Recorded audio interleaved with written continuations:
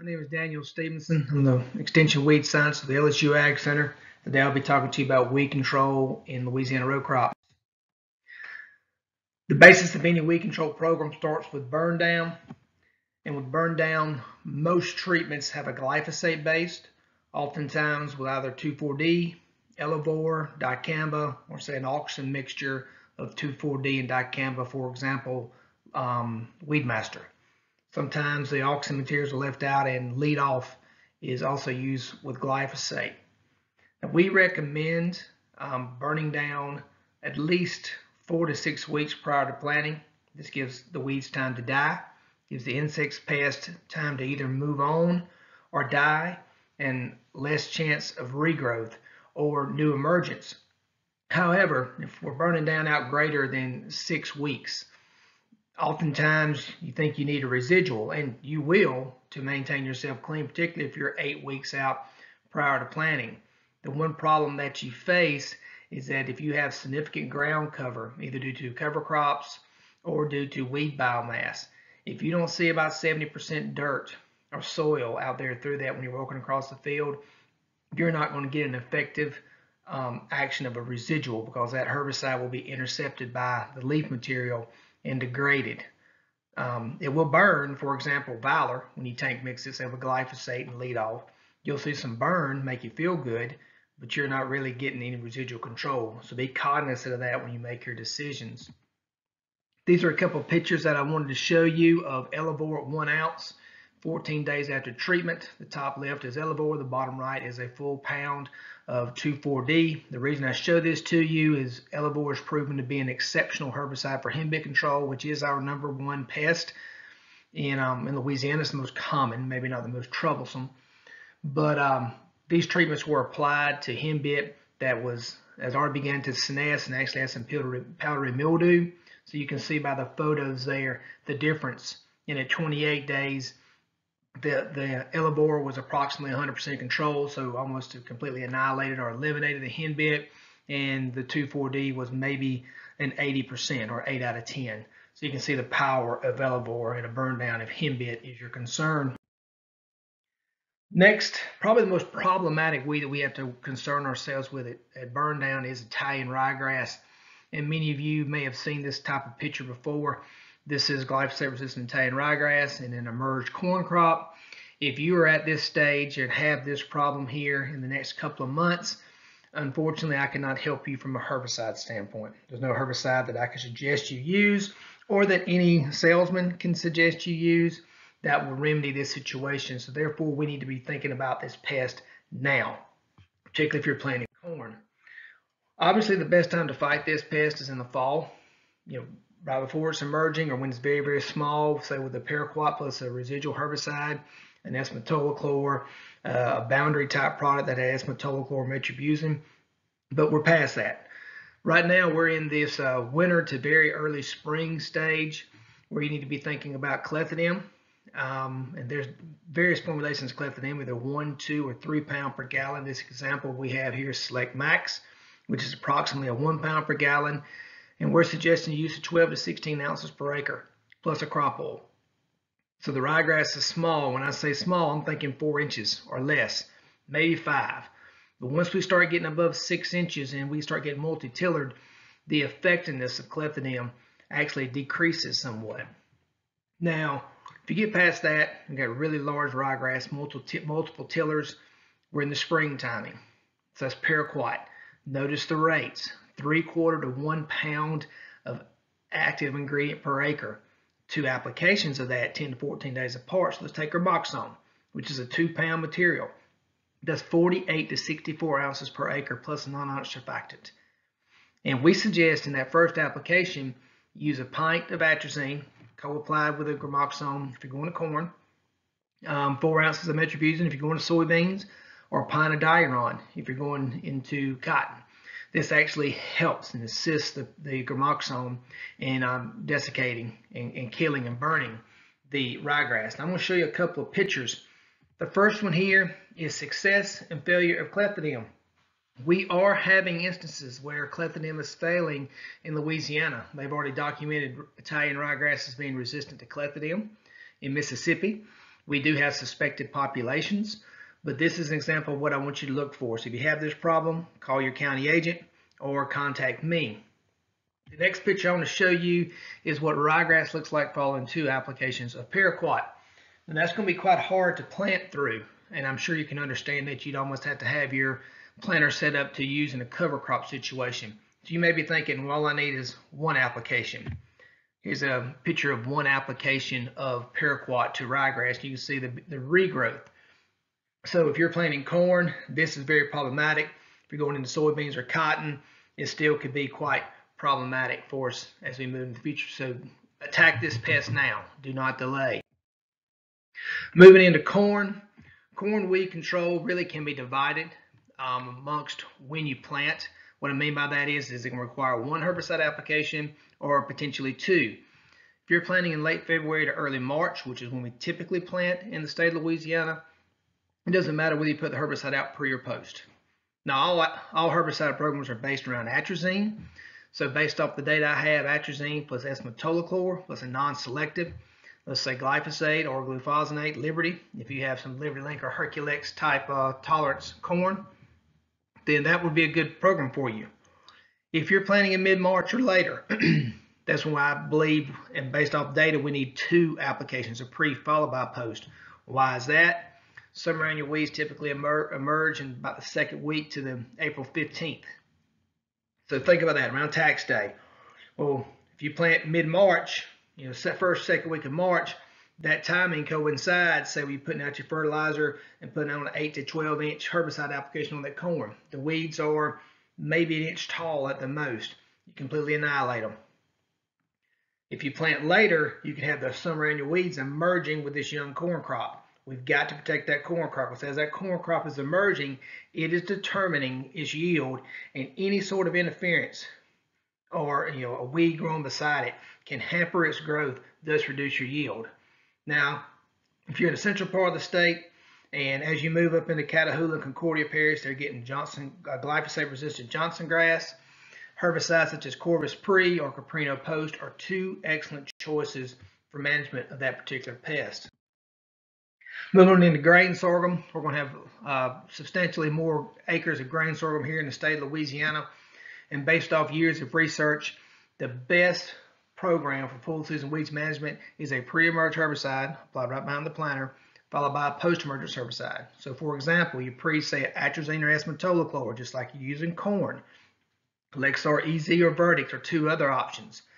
We do not have any um, GMO type grain sorghum, so your best post-emergence application is another um, treatment with atrazine plus S-metolachlor applied around 8 to 12 inch corn. We do have other post options, 2,4-D, dicamba, Facet L, Peak, Permit, Huskie. The problem with those are is they do not offer grass control. Now, Facet can provide some grass control, but you need a substantial amount of water to really get it activated to provide good grass control. Post-harvest weed management. You wonder why I may be placing this behind grain sorghum than just behind corn. Typically, we harvest our corn in, in August. First of August, and grain sorghum's right behind it. And oftentimes, if we mow the grain sorghum stalks and we got the corn stalks, we can have weed emergence.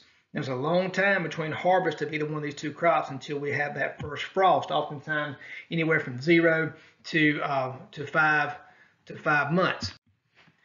Weeds such as glyphosate-resistant Palmer amaranth, various grass weeds, brown top millet, broadleaf signal grass, barnyard grass, even volunteer corn. But the Palmer amaranth and the various grass weeds can produce weed seed. Thus you have seed rains here replenishing the soil seed bank.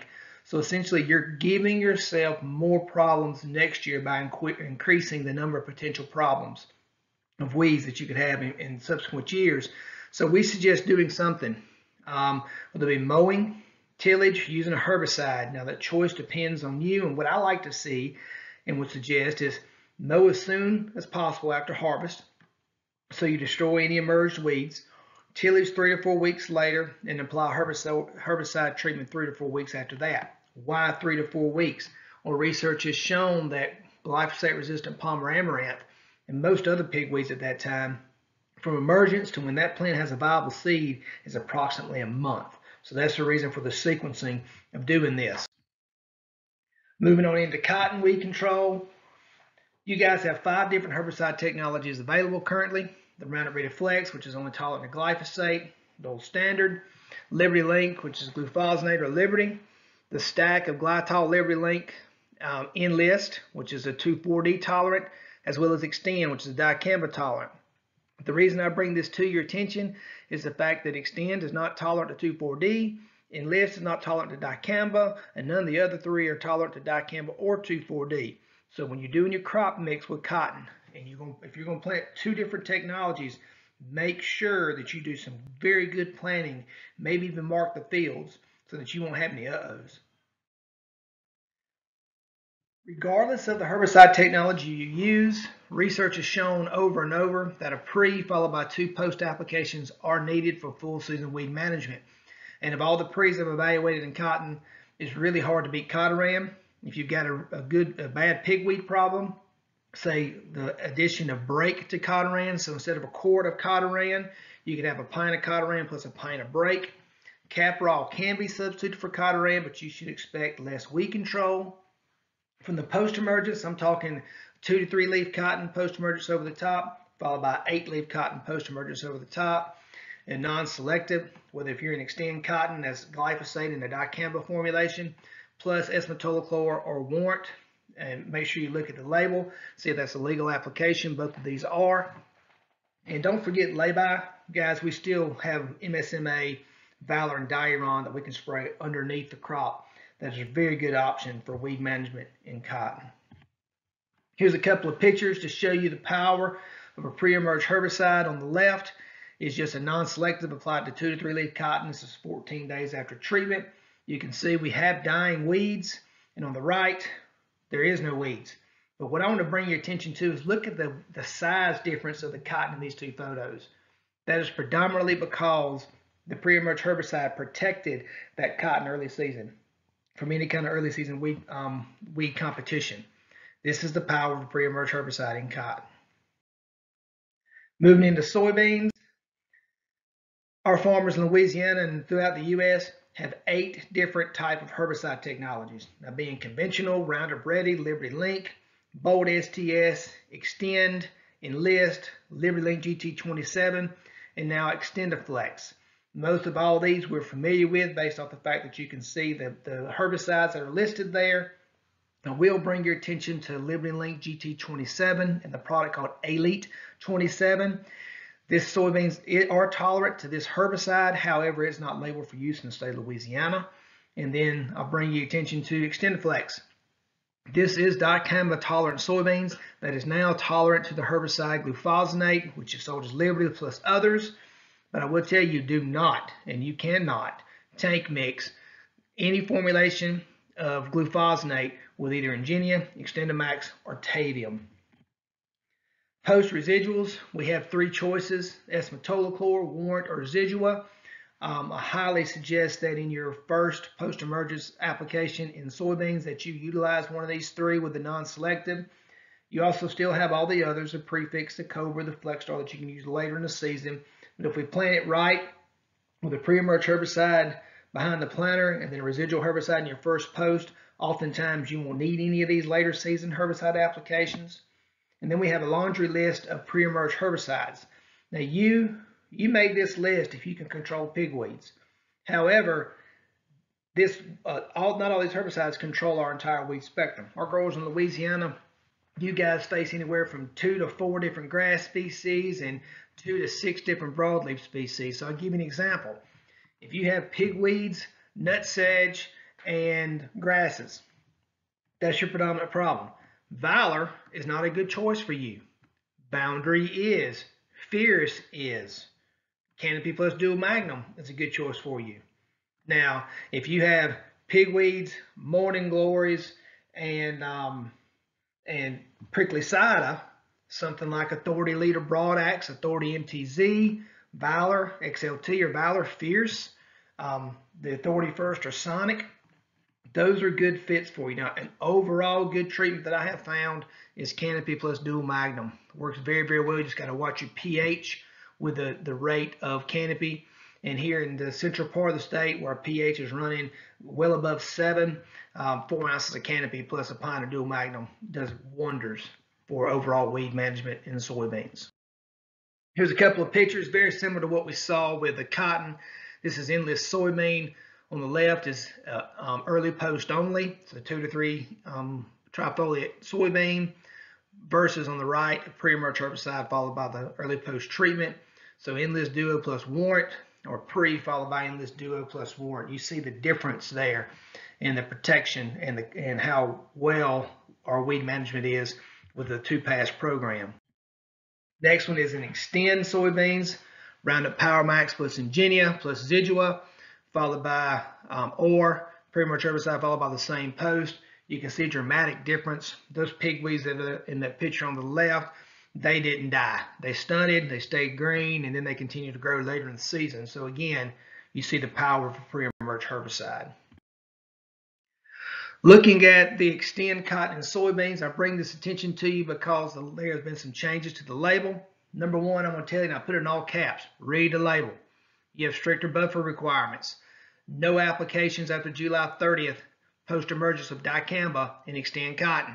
No dicamba applications after June 30th in soybeans. Now this shouldn't be a, a factor for our growers unless we're planting, say, some double crop soybeans after wheat or maybe even planting cotton after wheat. And then another thing that I'm pretty sure not many of us adhere to is we have to use a minimum of 15 GPA. Also this year and going forward, we have to use a pH buffering agent. That's because the uh, as you tank mix glyphosate and dicamba, the, the pH of the, the spray solution um, drops below five. That increases the chances of volatility. So for Engenia, BASF has a pro, uh, product called Sentris that will help buffer the pH. They may have others. Right now, their website doesn't say. XtendiMax, they have 13 distributor products. That product must say, you know, whatever the name is, Daniel's Hellfire, a vapor grip extra agent.